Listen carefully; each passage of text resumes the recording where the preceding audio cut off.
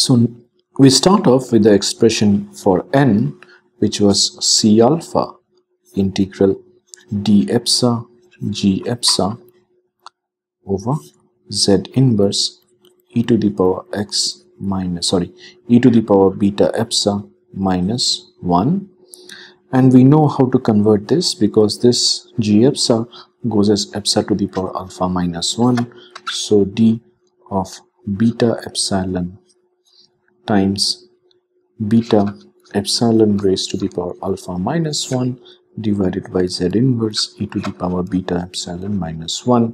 divided by beta to the power alpha. Now this is a repeat this is a repetitive statement but it is just to ensure that if you have forgotten you can start off from the scratch. So C alpha beta alpha and then you see that this integral is now 0 to infinity 0 to infinity 0 to infinity dx x to the power alpha minus 1 z inverse e to the power x minus 1 so that this gives me c alpha over beta alpha and I need gamma alpha divided by gamma alpha because I need alpha minus 1 factorial to relate it to the Bose integrals that we have defined dx x to the power alpha minus 1 z inverse e to the power x minus 1 and this is c alpha for beta alpha times gamma alpha f plus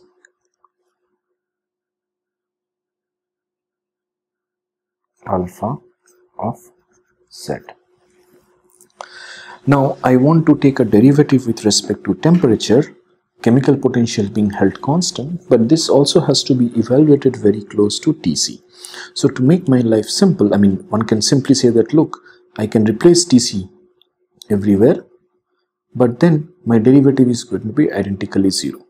So what we will do is we'll replace this by saying that I have z equal to 1 so that del n del t is going to be say, del del t of C alpha gamma alpha raised to the power beta alpha F alpha plus 1 evaluated at Z equal to 1 extremely close to TC. And this becomes del del T of C alpha gamma alpha raised to the power beta sorry divided by beta raised to the power alpha and then I have zeta of alpha the Riemann zeta value this quantity then becomes C alpha gamma alpha times zeta of alpha. And then I have derivative of del del t of 1 over beta raised to the power alpha which is C alpha gamma alpha zeta of alpha del del beta of 1 over beta to the power alpha times del beta del t. This is zeta alpha. Now del beta del alpha is uh, sorry del del beta of beta to the power minus alpha is minus alpha beta to the power minus alpha plus 1 and del beta del t is going to be del del t of 1 over kbt which is going to be minus 1 over kb t square and which I can write as minus 1 over kbt times 1 over t so that this becomes minus beta over t. So I have minus alpha beta raised to the power alpha plus 1 times minus beta divided by t. And you see that one factor of beta cancels with this one factor sitting over here. And the two minus two negative signs gives me a plus. So this becomes c alpha gamma alpha zeta alpha. Alpha by t. And here in the place of beta raised to the power alpha since I'm extremely close to Tc I'm now going to substitute this as beta c so beta now goes to beta c only after you have taken the derivative not before that so that alpha t c alpha gamma alpha zeta alpha divided by beta c alpha. Recall that this c alpha gamma alpha divided by beta c raised to the power alpha times zeta alpha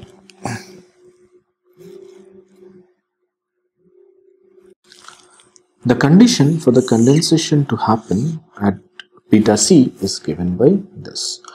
So you realize that this quantity that you see over here is nothing but n.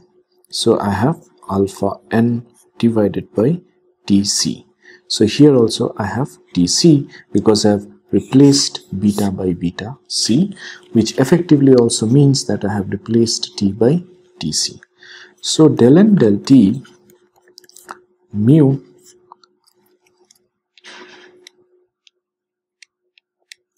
being held constant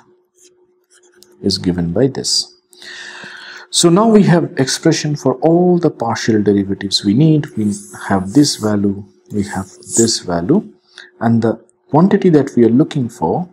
is essentially del mu del t times n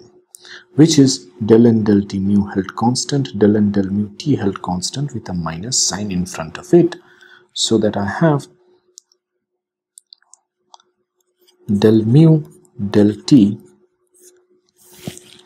n held constant is minus del n del t mu held constant divided by del n del mu t held constant. And this is minus alpha n over tc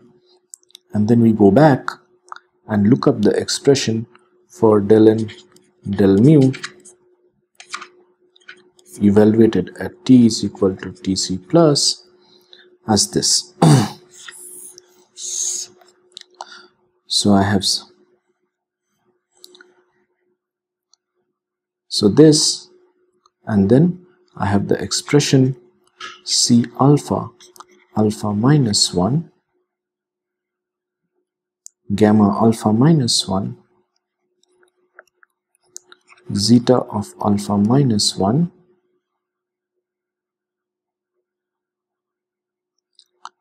divided by beta c raised to the power alpha minus 1 whole minus 1 so that this is minus alpha n over tc and now I want to see so I have c alpha alpha minus 1 times gamma of alpha minus 1 times zeta of alpha minus 1 and then I have beta c raised to the power alpha minus 1. So let's bring in a kb factor in the numerator and write down this as kb tc beta c raised to the power alpha minus 1 c alpha alpha minus 1 gamma of alpha minus 1 zeta of alpha minus 1 so that this becomes minus alpha n kb times beta c times beta c raised to the power minus alpha minus 1 then I have c alpha alpha minus 1 gamma alpha minus 1 zeta of alpha minus 1. Looks complicated, but it, we are going to simplify this now. Minus alpha, this factor of beta c cancels with the minus 1 factor. So I have n times beta c raised to the power alpha divided by c alpha and then I have alpha minus 1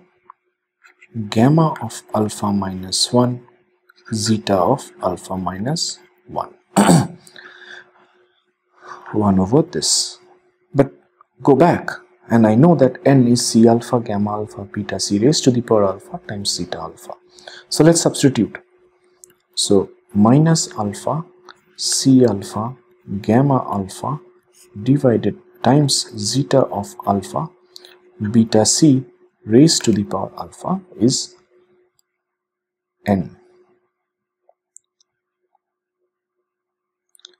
And then I have beta c raised to the power alpha c alpha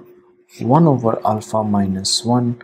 gamma alpha minus 1 zeta of alpha minus 1.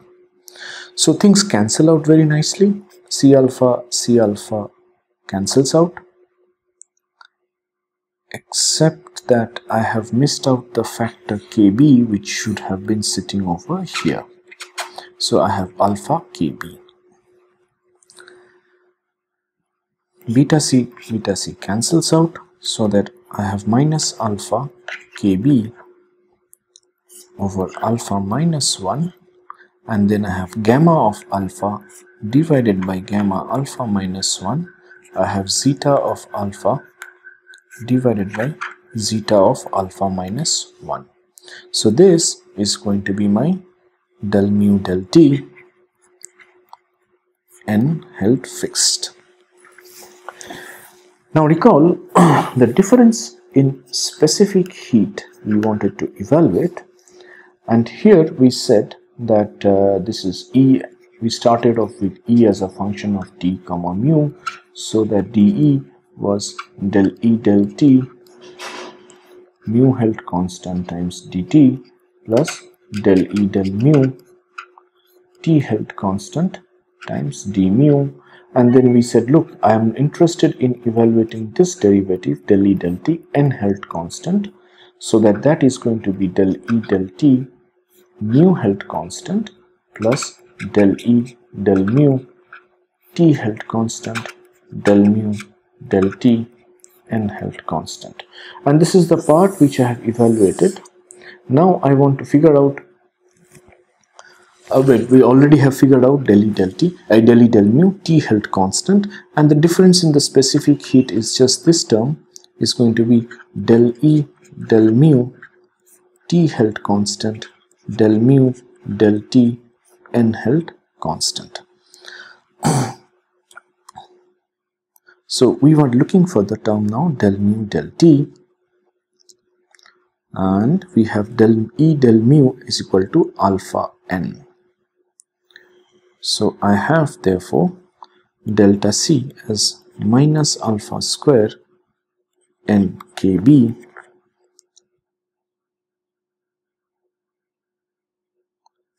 divided by alpha minus 1 gamma alpha is alpha minus 1 factorial and gamma alpha minus 1 is alpha minus 2 factorial zeta alpha divided by zeta of alpha minus 1 here we have used the result that del E del mu t held constant was alpha n. So that delta c becomes minus alpha square n kb.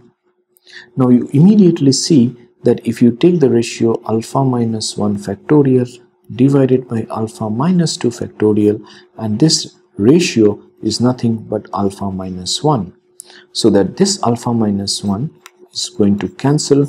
with the denominator and then I have zeta alpha divided by zeta of alpha minus 1 so things looks very nice and I have minus alpha square nkb times zeta alpha divided by zeta alpha minus 1 so that the difference the discontinuity in specific heat is delta c we write down in a non-dimensional way is going to be minus alpha square zeta alpha divided by zeta of alpha minus 1.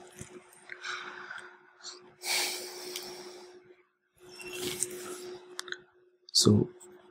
once I have this,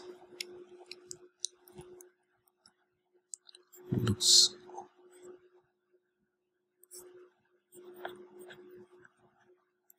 is minus alpha square zeta of alpha zeta of so there's something problem with this pen alpha minus 1 let's validate.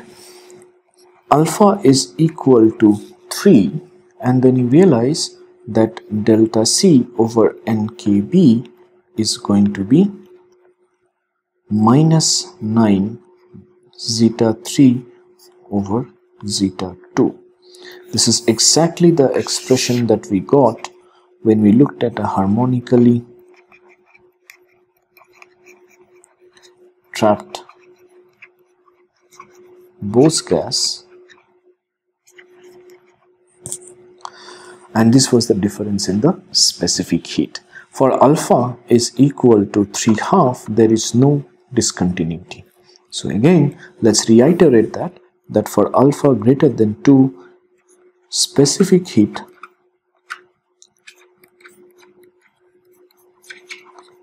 exhibits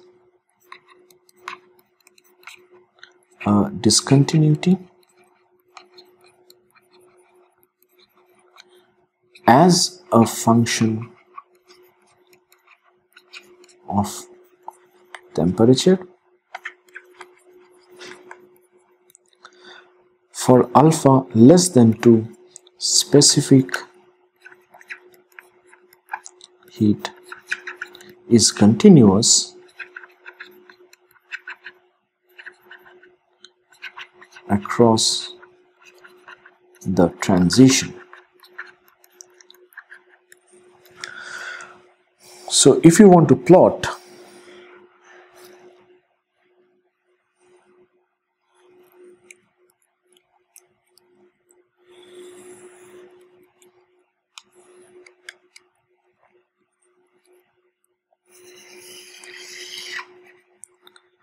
C over NKB and this is your transition temperature. So let's draw a dotted line that essentially marks this. And let's draw the classical result like this which is alpha. Then we have the result that it must go as t over tc raised to the power alpha for t less than tc that is what we saw. So that it goes all the way up to here. For alpha less than 2